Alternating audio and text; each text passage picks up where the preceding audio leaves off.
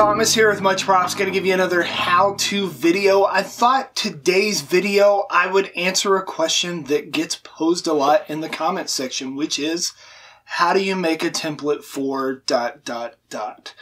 And I've made several videos in the past on this particular topic, along with several builds throughout the 400 and something that I've made so far, where I sporadically show you those steps. Oftentimes I skip it because it eats up a lot of video time. And I thought, well, it's 2022 now, so why not show for this year another version of that same attack? When I first started prop building, I was much like some of you and didn't know the process of making my own template. I knew there was Pepakura out there that I could adjust for EVA or whatever material I was using, but I did a deep dive and learned how from some of the greats. Um, Bill Doran from Punished Props, uh, Odin Makes, SKS, Cosplay Apprentice, Zing Prod, Dolly Lomo, tons of people out there giving out their knowledge base. Kamui Cosplay, Lightning Cosplay, all of them have amazing videos and are generous enough to show you the process of how they attack certain builds. And I thought, why not make a very simple approach to building a template? I have a ginormous head, as some of you have probably figured out by building something of mine that required head size.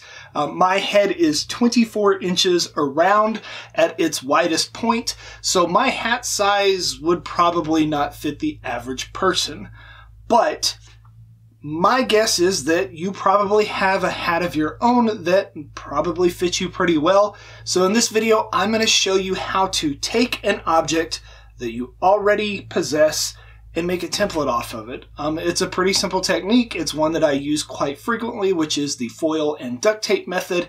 And this practicality of pulling something from an object that already exists is a great way for you to not only practice template making skills, but can give you the potential to make replicas of things and make things 100%. You build for like, say, when you go to a cosplay contest and they take points off or whatever because you bought the hat instead of made the hat. So today I'm going to show you how to template and build my very own hat out of EVA foam. Let's get to building. For the duct tape and foil method, you need yep, you, you guessed it. Duct tape and foil. Uh, I stuffed some of those packaging pockets in to kind of help stabilize the hat and keep its shape, but it really wasn't working, so I switched over to my dummy and immediately put the hat out of frame. All I'm doing right here is putting the foil over the hat, taping it into a single layer around the foil.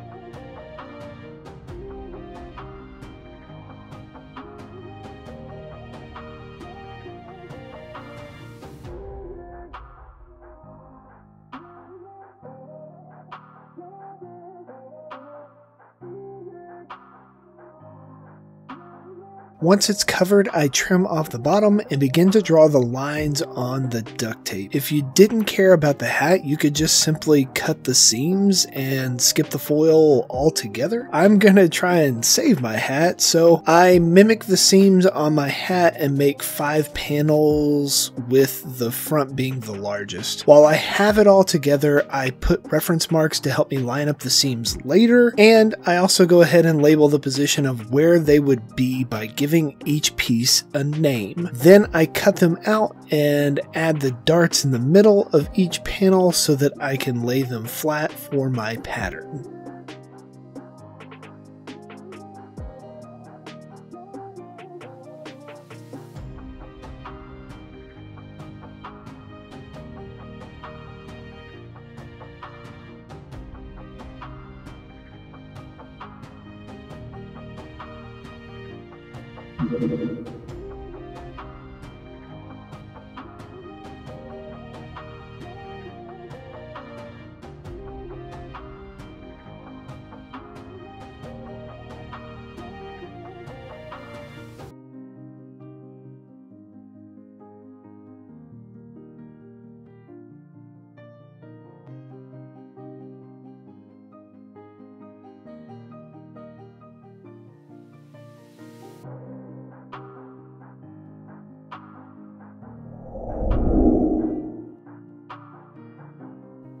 I like to transfer my pattern over to poster board to make it easier to handle and trace repeatedly onto the foam. This is also what I scan into the computer to share my patterns with you all, so I just tape the pieces onto copy paper and scan them in. I trace the duct tape pattern, cut inside the lines, cut out the reference marks with my notch punch, and then to finish it off, I go back around all the new outside edges with a Sharpie. This would also be the point where I kind of guess at angles for certain cuts and I put special markings on my patterns like what size material I'm going to use for each particular part. If there's going to be overlays or any of that stuff too.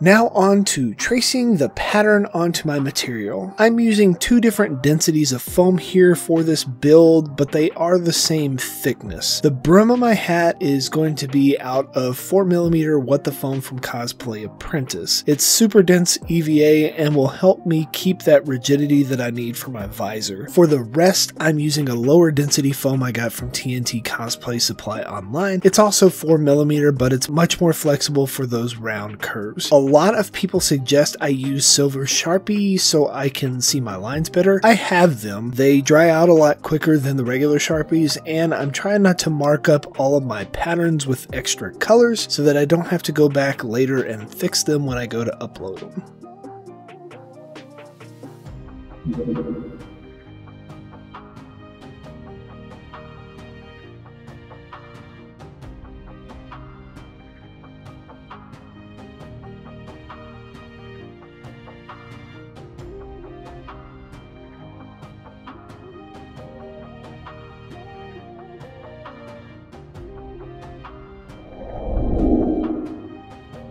Forming your foam pieces can drastically help you with the overall shape of your build and limit the amount of pull on your seams while doing the glue up. I heat up both sides of the foam and push it over a round object. This is the glass dome off my back porch.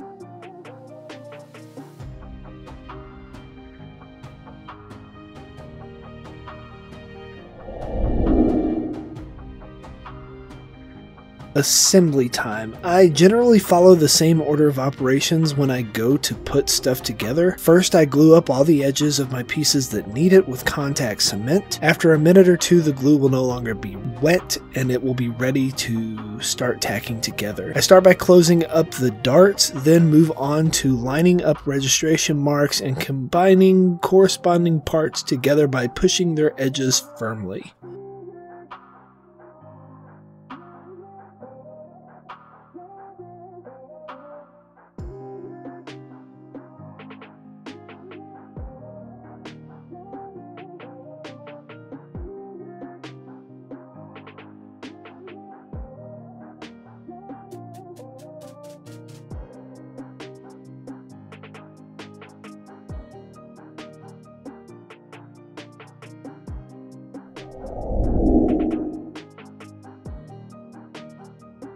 For the brim, I'm gluing it to the bottom of the hat assembly, so it will need glue on the top part, not on the side. I have a faint center line on both the hat base and the brim, so that's where I'm going to start, working from the middle out. As I tack it down, I'm trying to keep the base flush with the edge of the brim on the inside of the hat.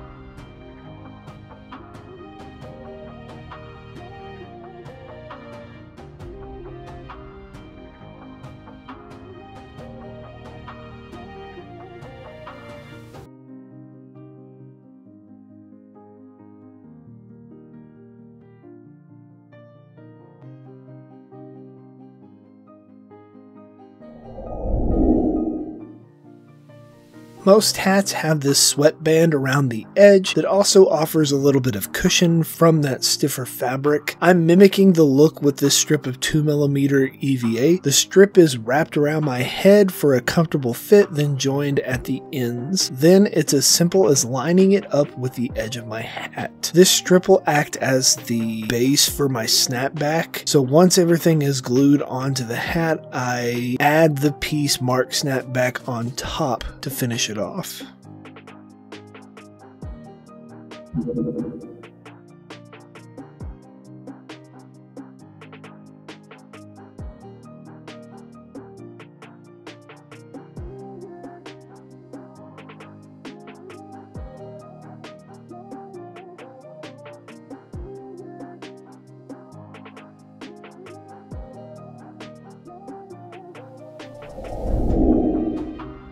Time for some detail work. I put on my respirator and crank up the wood burner. Most baseball caps have those holes at the top that are for ventilating the heat that escapes through the thin skin on your head. I just plunge it in each of the panels. I also do some detail burning on the snapback as well as go hog wild and burn in faux stitches all over the hat base and the brim. It seems like a lot of work now, but when I go to paint, that extra work will pay off.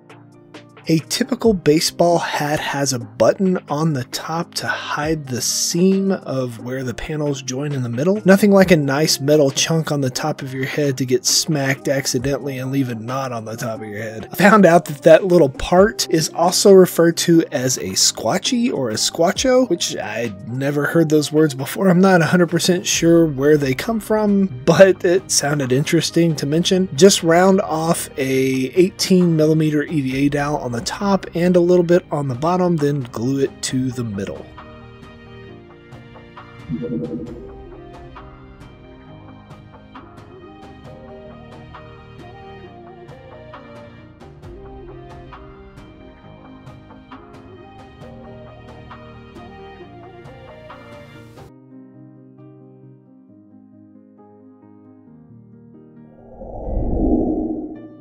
So, one option for detailing was to make it look more like a traditional hat. I had my laser cutter burn out a Much Props logo and I smacked that on the front of the hat and called that one done. Off camera, I've been building a second hat and thought it would be cool to showcase the versatility of gluing basically whatever you want to the foam surface. I happen to have some scale mail from Ben Eadie and Stephanie Chan over at Foam Armory that I thought would make a unique look on my hat. I push out the pre-cut strips, pop out the holes, then proceed to weave the holes into the next row until I have a big enough patch to cover the front of my panel. I cap the side and my seams off with a small strip of 4mm foam and get it ready for paint.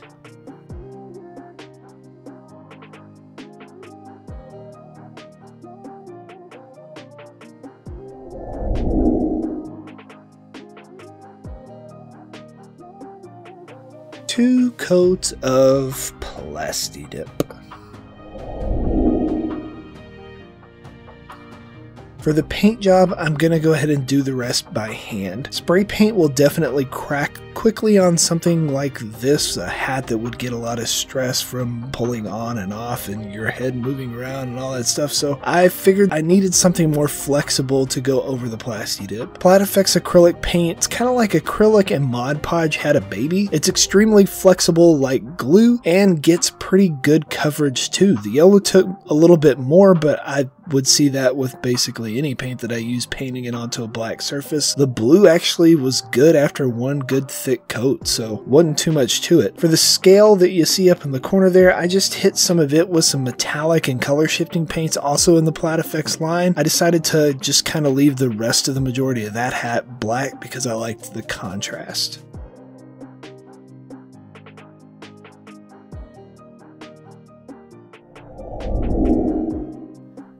After I got my base color down, I thought it would be cool to do some cel shading, or at least attempt to on this particular hat. So I put some cartoony looking blotches of darker and lighter colors along the edges, and randomly hit some areas with some light black tracing. Because I took the time to burn in the stitches and round over the edges on my panel pieces, it made those lines a lot easier to paint because they had divots that could hold it. I definitely want to do do some more of this style in the future builds because it's super cool effect and can kind of give the trick of the eye into believing that it's a flat surface when it's actually a three-dimensional one.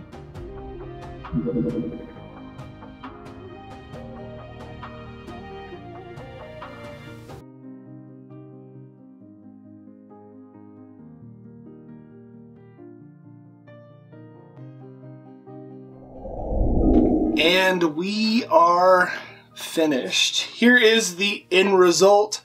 I think they turned out pretty cool. I'm definitely not like a professional at doing cel shading, but I thought I would give it a go for this build at least. Um, I've been watching several people recently who've been knocking it out of the park with some cel shading stuff, and I wanted to kind of try my hand at it a little bit more. Um, and then using that awesome scale mail that Ben Eadie and Stephanie Chan offer over on Foam Armory. Uh, I, I thought that would be a cool accent and something that sets it apart from a normal hat, which is one of the beautiful benefits of using EVA. You can pretty much add whatever you want to it. So those crazy character hats that you see in cartoons and animes and whatever, um, they're totally doable in foam and you can put your own little spin on it. So, yeah, maybe you will try and build one of these yourselves and impress your friends with your ability to make something out of foam that you use every day, and may even fool people into thinking that it was an actual thing that you bought at a store or um, spent a lot of money on. Maybe. Maybe you'll get some. Yay! And inevitably, they're going to ask you, how'd you make that? You can give them one of these. Tell them much props. Um, I'm kind of gonna rip the much props. I'll I'll let you rock this scale mail one. That's pretty epic. So here you go. It may be a snug fit. I don't know how big your head is.